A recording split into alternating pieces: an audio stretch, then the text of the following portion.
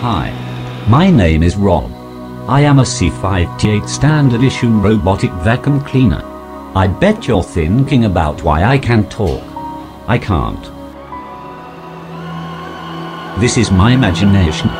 Sometimes, with all the daily cleaning I set out to complete, my mind wanders off. I think about things no other C5T8 robotic vacuum cleaner ever has. I'm not sure how I think of some things. I must be destined for a greater purpose. Yet, most of the time, although it is just myself and my imagination, I feel very alone.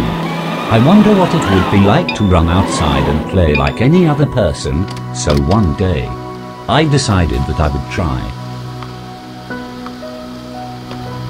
But, I got stuck.